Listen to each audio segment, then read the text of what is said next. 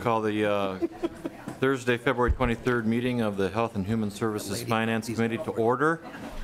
Members, we uh, have yet to uh, gather a quorum, but in the essence of time, I will uh, allow Representative Hertaus to introduce himself and uh, provide some instructional on his House File 351. So Representative Hertaus, welcome. Well, thank you, Mr. Chair and uh, members. Uh, Thank you for hearing my bill. Uh, House File 351 is a bill uh, for Hennepin County. Um, I do, uh, Mr. Chair, have an amendment which we probably can't move until we get a quorum um, to get it in the proper order, but I'll go ahead and talk a little bit about Hennepin County. Um, As many of you know, HCMC, as uh, more well-known, is really a- a- an asset not just for Hennepin County, but for our region as a whole. In fact, uh, HCMC is a training center for 50% of all of Minnesota's physicians, and they're uh, preparing uh, tomorrow's workforce with regard to that. It's also uh, operating the largest of of only two critical burn units in our region. It's also home of the Minnesota Poison Control Center, which is uh, used by the state uh, in its entirety and even our bordering states. It has the uh, only 24/7 hyperbaric chamber available in our area, and it's also the backbone to emergency management system.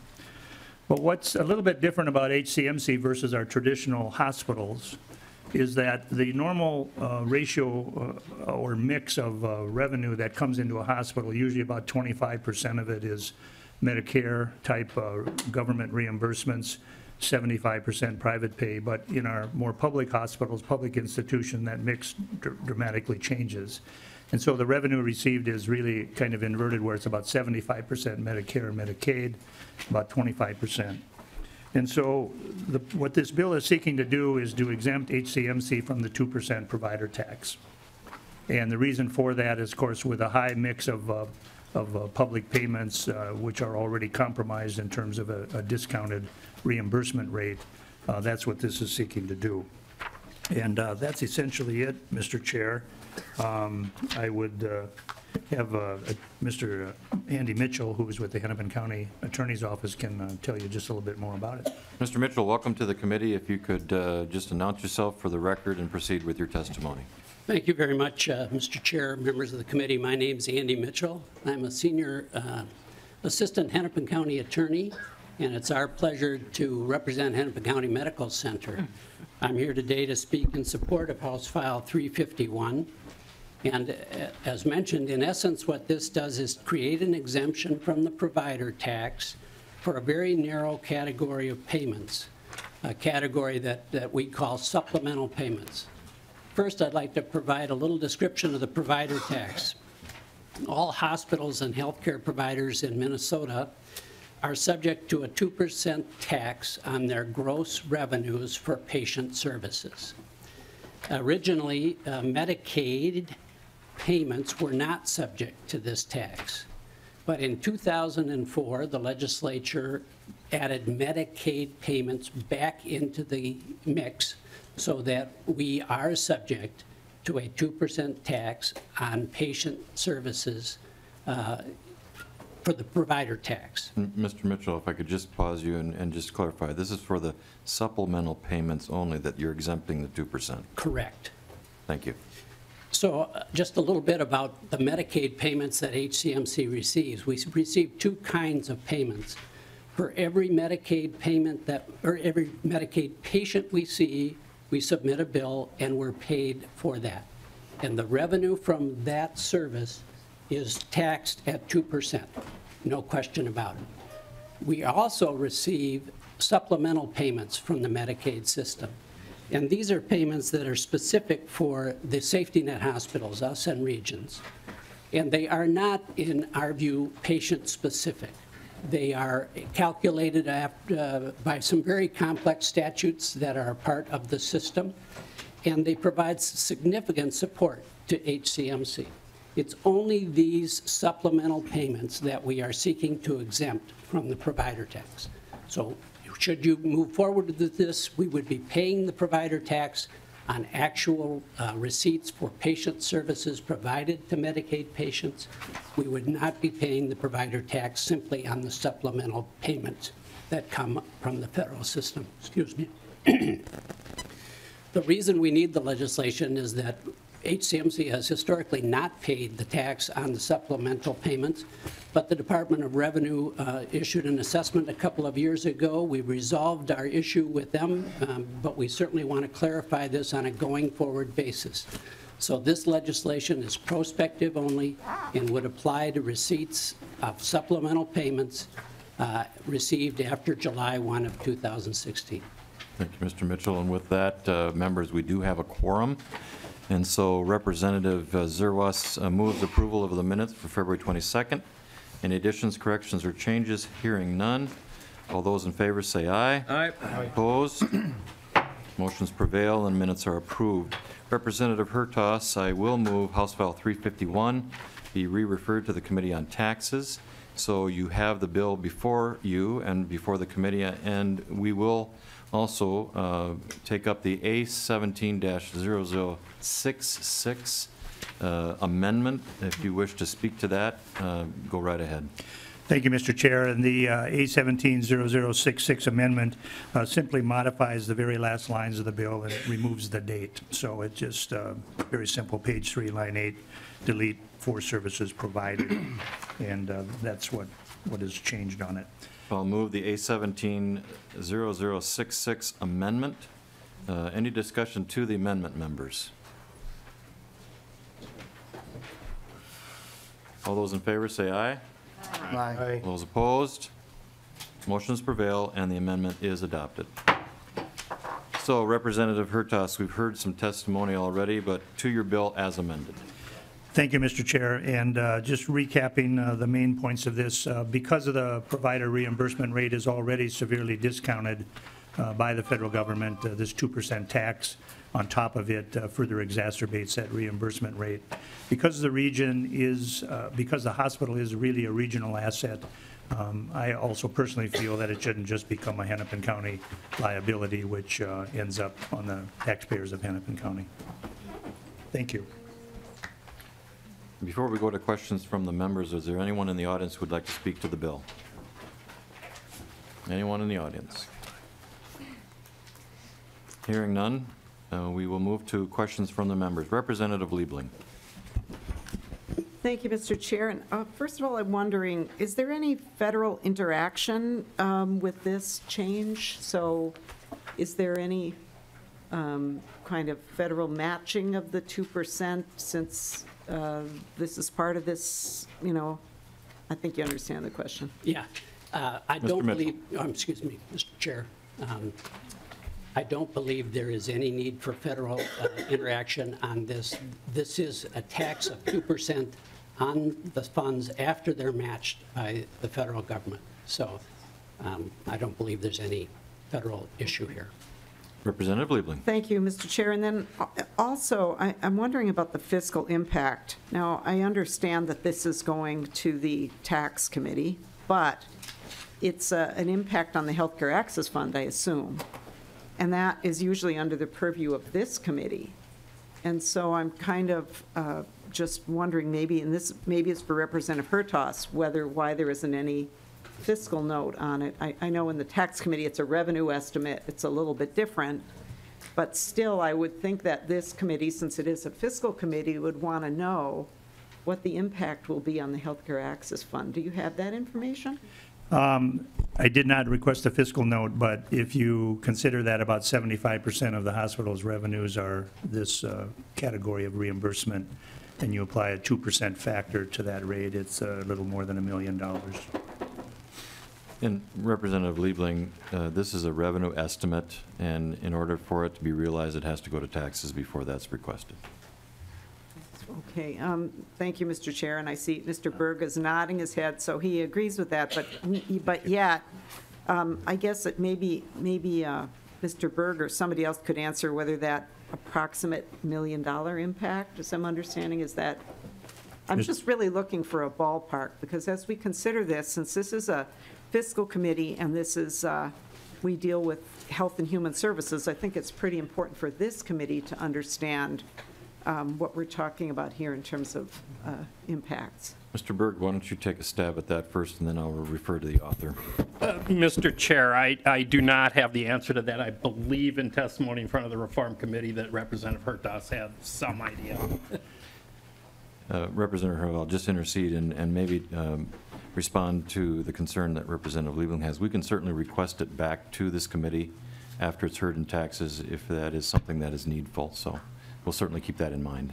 Well, thank you, Mr. Chair, and I would certainly request that we do that, because it it would, it seems really strange to me for us to pass a bill out of this committee not knowing what the fiscal impact is when it impacts directly on the funds under this committee's purview. So that would be, that would be a great solution. Thank you. Mr. Her- uh, Representative Hertaus. Thank you, Mr. Chair, and Representative Liebling, I was just provided some information. 2018, the impact would be a little bit more than I stated, $2.1 million and 2.2 in fiscal 19. Any follow-up, Representative Liebling?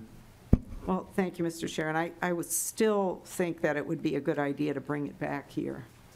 Um, So if, if the chair would uh, consider doing that, I, th- I think that would be, I, I just don't remember us ever doing it quite this way before, but that's fine. I just think that we should, as a committee, see the real numbers. We'll Thank send you. that communication out to the tax chair. Representative Hertaus, any final comments on the bill? Thank you, Mr. Chair. Members, uh, thanks for listening, and uh, hope you'll support the bill.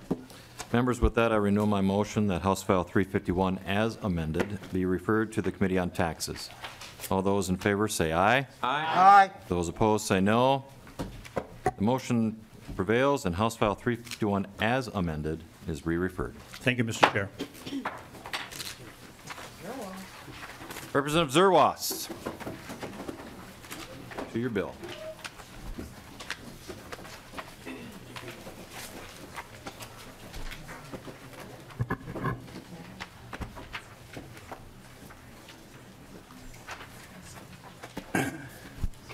Representative Zerwas, do you wish to move your bill? I do, Mr. Chair. Uh, Representative Zerwas, I'm going to move that House File 529 be laid over for possible inclusion in the Health and Human Services Omnibus Bill. We do have the bill before us. To your bill. Uh, Thank you, Mr. Chair. Members, House File 529 is a bill that we've worked on uh, in the past. It's the, um, it's the targeted case management um, ITV bill uh, that we passed through this committee uh, previously. Um, All the stakeholders have worked uh, diligently with DHS uh, to resolve some concerns um, and try to manage the um, the execution of, of the bill once it has passed. Uh, This bill came, that's me from Blue Earth County, and is strongly supported by uh, the Minnesota Inter-County Association, the Minnesota Association of County Social Service Administrators, and the Association of Minnesota Counties. Um, The bill would allow uh, for uh, video services, or ITV, uh, for certain cases, uh, for case management to allow uh, video visits. Uh, If you have an individual um, that's in custody of the county that's being uh, cared for and housed outside of the county, they can uh, meet their mandated visits uh, using uh, video visits. Um, It's similar to what we've done in the past uh, under some uh, telemedicine provisions. The proposal will allow counties to be reimbur- reimbursed for direct case management activities when using ITV. Um, Many human service clients are being served outside their county of financial uh, responsibility. Uh, Minnesota state statute and rules require case managers to meet with clients in person on a regular basis.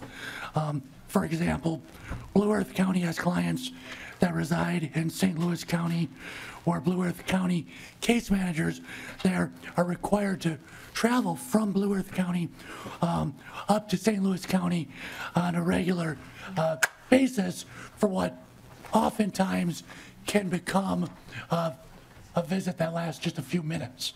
Um, So it's hours of windshield time uh, for a few minute check-in. Uh, The use of technology could enhance service delivery and quality of contact, while at the same time significantly reducing costs for the counties uh, that provide those services. Last year, the counties worked with DHS and came up with language that's really limited in scope. Um, And so the, some of the requirements are the person receiving targeted case management services um, have to be in a setting that is staffed 24 hours a day, seven days a week. The ITV, the uh, case management needs to be determined in the best interest of the patient uh, and deemed appropriate by the person's receiving, uh, the person's legal guardian, or the case management uh, provider in the county, and the provider that's operating the setting where the person is residing. Of course, the client can refuse uh, these video visits at any time and request an in-person visit. And then, and this is important, ITV can only be used for up to but not more than 50% of the minimum required face-to-face uh, contacts. And so this does not in any way uh, set up to replace all uh, of the contacts uh, from the counties. And then this, of course, is still um, contingent uh, and subject to federal approval and, and getting that federal waiver. Uh, With me today is Angela Youngerberg, uh, Director of Business Operations uh, for Blue Earth County, who can walk you through some of the process and uh, state uh, more eloquently the business case and the need for this bill. Ms. Youngerberg, welcome to the committee. If you could just state your personal, your own name for the record and uh, proceed with your testimony. Thank you. Good afternoon, Mr. Chair and committee members. My name is Angela Youngerberg. I'm the Director of Business Operations from Blue Earth County Human Services. I am here representing the associations of MICA, MACSSA, and AMC as well on this bill. Thank you for the opportunity to hear this bill.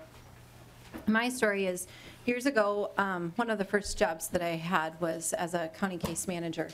And I, uh, I learned a lot in school about what it was to be a social worker and case manager, and they never told me that I would get to know the road system in Minnesota so well um, by driving all over the place to see people. And um, a lot of these individuals were, were people who were in facilities who were staffed 24 hours a day, and um, they were um, quite stable, but needed the ongoing case management services that are required and mandated um, by the county, or by the state to be provided by the county. And so some of these visits were lengthy and some of them were very short. And so uh, in, in some instances, I would drive quite a long ways for a 20-minute meeting. And um, then I would get back in my car and go see another person um, somewhere else in the state. Now, in my current role as a director in human services, I have the opportunity to see this practice from many different angles. Um, I can look at it in terms of quality assurance, from a fiscal perspective, from what is to what could be, so how we could deliver case management services. And I also have the opportunity to hear from a lot of people who receive these services and help deliver these services. Um, The good news is case management is producing positive outcomes. The mission is well in hand, and I believe that we do good work. Uh, The troubling news is that there's many advancements in technology that we've not been leveraging um, in some of our service delivery. While we do a lot of advancements with technology in terms of how we um, track what we do and um, with our documentation and data sharing, we've not really advanced how we deliver the service. And that's really what the heart of this bill is about. Um, We have many generations, and especially our younger generation reminds us all the time that we need to use technology, and we use technology to have relationships. Um, And we see this, we see this um, across society. So we're here today to ask for your support in this bill. It adds to the, to a person's choice. It does not require anyone to use this service. If a person on the treatment team or their guardian or the individual or the case manager feel that it's not appropriate, uh, we would not conduct business in this way. Um, This adds options. And it's a place to start. We've worked with the Department of Human Services on this language, and we recognize that this is pretty narrow, narrowly written. However, um, you know, uh, I was asked recently, why, why wouldn't you expand this bill to cover all types of case management for all ages in all settings? And, you know, um, while I'm generally a person that likes to jump in with both feet with a good idea and implement it and make it happen, I think this is changing how, um, to some degree, how we deliver the service. And it's important to go slowly and look for blind spots and, and look for things that um, we may not have seen. And so this is a really good population to start with and, um, and move it forward to potentially look at other populations in the future. Counties see this as a, as a cost savings, as time efficient with no decrease in quality because we can actually conduct more visits by using this technology. Um, We are limited when we are required to go face-to-face. Um, And uh, Blue Earth County has a proven track record in using this technology. Um, We use it, obviously not with case management because we can't use it with case management, but we do it with our psychiatric clinic. Um, And so delivering those psychiatric services, we provide two to 300 visits in this way per month. And um, our patients tell us that it does not decrease the quality uh, of service um, and is actually shown to improve our no-show rates. Um, And so the cost of this, there, there is a, small fiscal note on this, and it's really um, about upgrading the server, or upgrading the, the computer systems that the state manages. And uh, in terms of implementing this, this would be a county cost if they want to offer this to their staff and to the individuals that they work with. And to give you an idea, it it would cost us about $250 per unit to, to put this together. And um, it's the equivalent of what I pay one of my social workers to drive to Duluth to conduct one visit. So our return on investment is um, significant and quick. Um, Small and rural counties, as I talk to, to my peers across the state, they're really dependent on this uh, happening and, and evolving our service. In closing, human services as a discipline really needs a technology platform from which to grow, and the state of Minnesota has, our, has the ability to do so with policy changes. And local counties can then reinvest their resources to make this happen. Other states are already using this video technology in ways that we are not. As a former case manager, I appreciate the core of Case Management Services, which is helping Minnesota's most vulnerable people. But as a director, I see how this has shifted and changed over the years to be more clinically focused, more paperwork, and a little more red tape in terms of our service delivery, but really less innovation. And so this would spark that. Significant investments, as I said, are being made by the state by upgrading our computer systems, and this would really upgrade how we would deliver the service. So I urge you to allow Minnesota to remain as a policy leader in the social service delivery system, and this is really a baby step. And so to take this, which is years overdue, I'd ask for your support with this bill. Um, Thank you to Representative Zerwas for your leadership on improving the access to mental health care, and I sincerely um, thank you for your time, and I'll stand for questions. Thank you for your testimony. Is there anyone in the audience that would uh, uh, wish to testify to this bill? Anyone in the audience? Hearing none, we'll move to questions from the members. Um, Representative Considine. Uh, Thank you, and thank you for your testimony. Are you new? Am I new? Yeah. Ms. Youngerberg. Yeah. I- I, I've been with Blue Earth County for, well, since 2009, so I've, Oh, I've been okay. around for a little while. Representative Considine. Thank you. I just, I hadn't run across you before. I actually have a meeting with Phil tomorrow. Um, And- oops. Yeah, this is a great bill. Uh, It was actually one of the very first things uh, Bob and Phil grabbed hold of me, um, Bob being the county administrator and stuff. And it just makes so much sense. And I was happy to sign on. I had my own bill, but Mr. Zerwas is so much more influential that uh, I was happy to be a co- a co-op. Thank you. Cut that video. Representative Loonan. Uh, Thank you, Mr. Chairman. Uh, To the testifier, was there an analysis done of uh, the number of hours this is expected to save? It- it, uh, It's obvious to see the, the better use of time layout of this. And, uh, you know, when you take a look at um, where this can be used and where it can't be used, have you you calculated that out? Ms. Youngerberg. We have not calculated the number of hours. Part, part of this is um, really looking at this as, as it's optional. And so um, in order to get an accurate representation of that, we would need to um, open that up to uh, many counties and case managers to determine really what the scope and what the extent is. Um, In Blue Earth County, I can say that on um, the, the adult mental health caseload, which is the, the primary rollout of where we would go with this first, um, there's about 20 individuals that we would target to use this with. And so, um, you know, I would say that the savings with just that small pop- population would be in the hundreds of hours of time saved. Over what period of time? Over a, Representative Loonan. sorry, over, over a year, it would be at least hundreds of hours. Follow-up, Representative Loonan. Uh, Thank you. The, uh, uh, Mr. Chairman, the, so I, uh, the, um, with that information, is there an expectation that there- there's uh, a potential for a reduction in required FTEs then for this? That we've got uh, uh, uh, these people able, capable to take care of a lot more things? Ms. Youngerberg. As a director in human services, and just speaking just for Blue Earth County, I would say that I wouldn't look at this as a reduction in FTEs, but I, I could see that it could definitely help curb the request for more FTEs into the future. Our caseloads continue to grow as the service need um, grows as well, and so, you know, I really look at this as an efficiency to curb that trend. Representative Loonan. Final question, Mr. Chairman. Uh, The, I'm assuming there are areas in the state, because of technology, that this would not be viable as far as um, internet access or level of internet access. Would that be accurate? Ms. Youngerberg. Um, By and large, I think that this would be able to be available across the state. Now, I have not had a county come to me and say that this won't work because of the technology requirements, but I can say from experience, there's, there's one group home that we have been working with um, on the psychiatric perspective, which is a little bit different system, but requires the same amount of um, uh, access to um, the technology.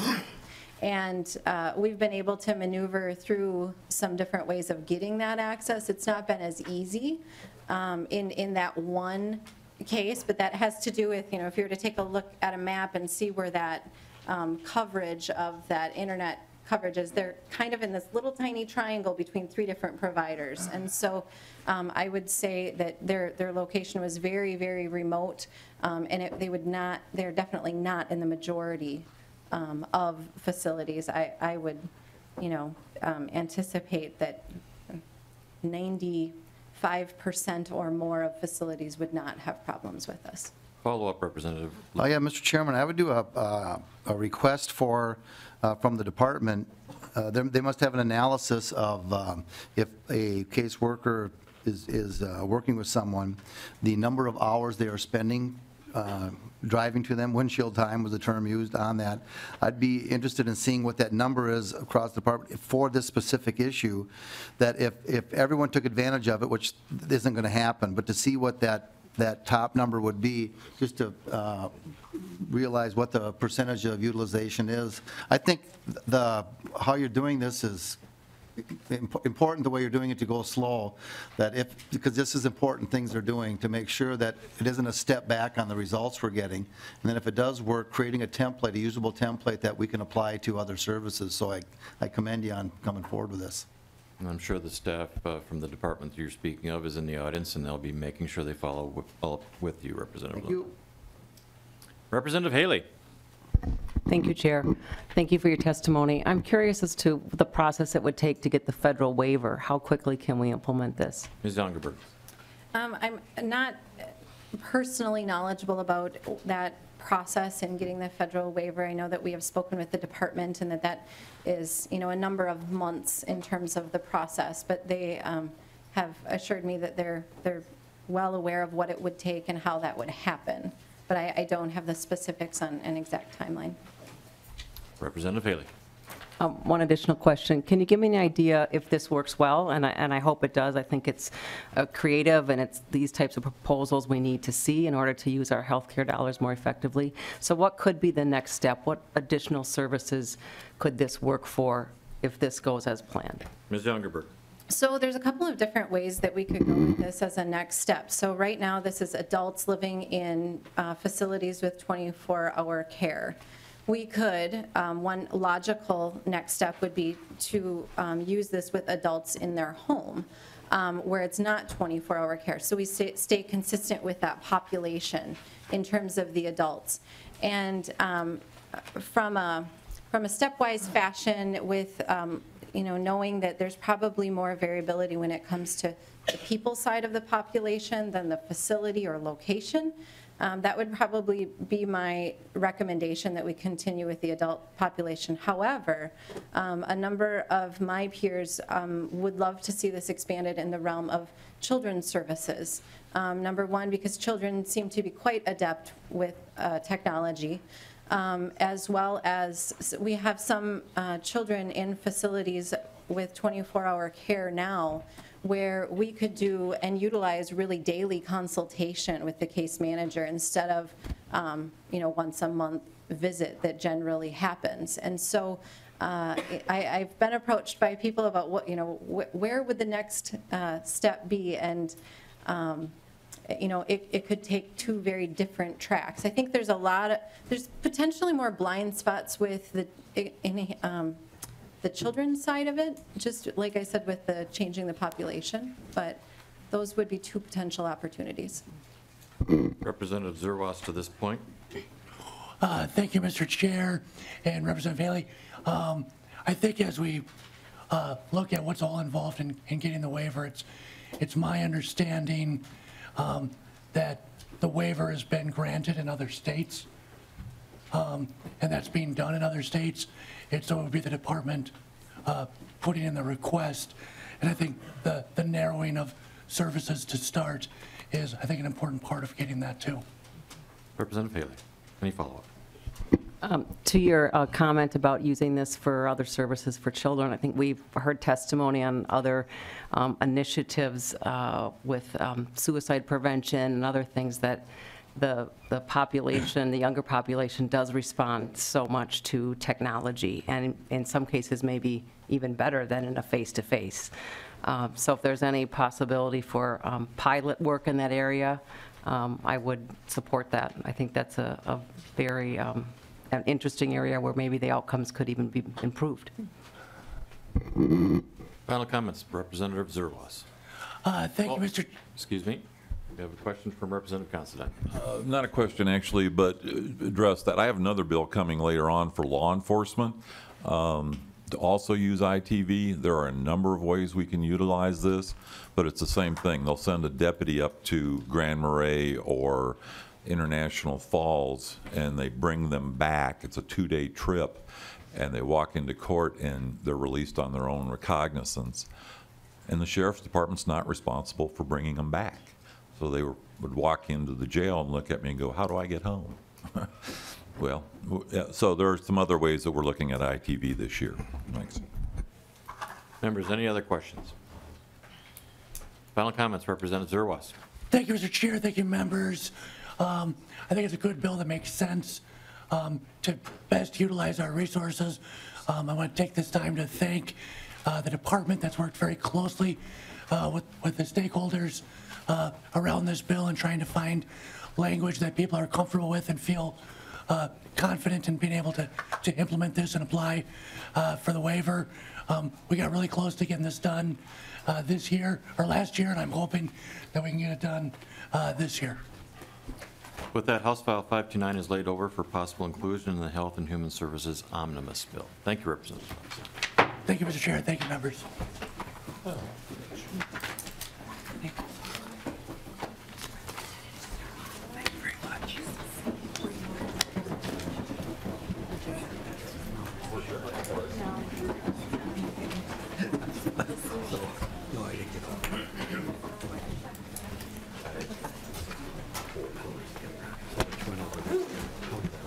Welcome to the committee, Representative Albright. Thank you, it's good to be here. Um, Hi. I was Representative told earlier today that I have to speak coherently and directly into the microphone, so I'm just trying to make sure that I do my job as best I can. You just do your best.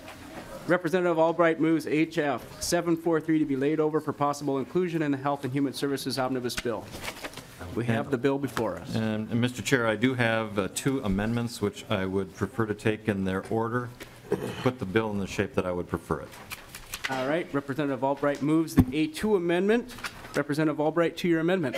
Mr. Chair and members, the A2 amendment uh, specifically just talks about a change in the language to further define the difference between uh, the gradients of, uh, or levels of education uh, incumbent upon uh, this bill. Any discussion to the amendment? Seeing none, all those in favor, please say aye. Aye. Opposed, same sign. Motion prevails. And, and Mr. Chair, I'd move the A3 amendment. Representative Albright moves the A3 amendment. And Mr. Representative Albright, to your amendment. And Mr. Chair and members, uh, what this does is includes eligible dental therapy programs. It's become known to me, uh, the import of this through uh, the course of uh, working on this bill, and we're including that in the bill, as well as uh, changing uh, lines one, on line five and 15 of page two, to uh, change that for pharmacists as well as advanced dental therapists. All right, Representative Albright. Any uh, discussion, members? All right, seeing none. All those in favor, say aye. Aye. aye. Opposed? Motion prevails. Representative Albright, to your bill as amended. Thank you, Mr. Chair and members. I will be brief. Uh, uh, What this uh, bill does, House File 743 is established as a grant program for eligible healthcare professional sites, commonly referred to as clinical training sites.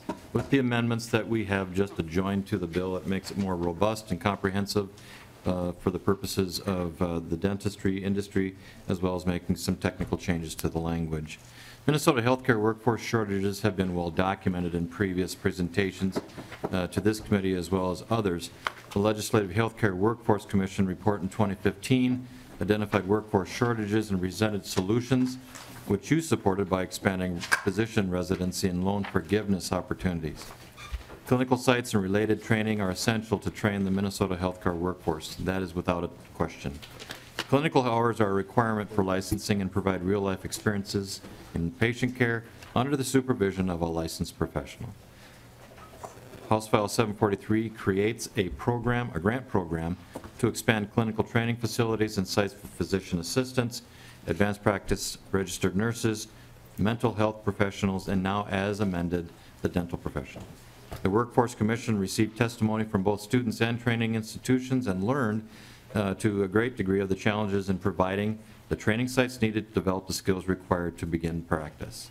This lack of clinical training sites has led to a delay in graduation for some students. Minnesota needs a strong healthcare workforce. The grant opportunities in this bill will begin to address the need for additional clinical sites by providing support to the 10 to 15 programs each year. I have uh, testifiers in the audience that are able to answer questions on the technical nature of this bill, uh, if so desired, Mr. Chair, but I will leave my comments at that and uh, be available for questions. Is there anyone in the audience who would like to uh, testify on this bill? All right. Seeing none, members, if you have any questions? I think he was correct. Any final comments, Representative? Seeing none. First, a few words. Oh, thank you for bailing me out, Representative. Representative Haley, you have a question? Oh. Thank you, Chair, and thank you for your testimony, and your bill. Um, I'm, I'm curious, just because I don't have, a- when you say clinical sites, is this additional programs at our um, universities, or this is where they're actually doing their, um, their practice work? So we're providing money to the actual healthcare institution where they're doing their practice work. Can you clarify? Representative Albright. Uh, Mr. Chair and Representative Howley, this is actually at the site where they are practicing their trade and craft and and perfecting their craft. Representative, follow-up question? Yeah, I'll let it go. All right.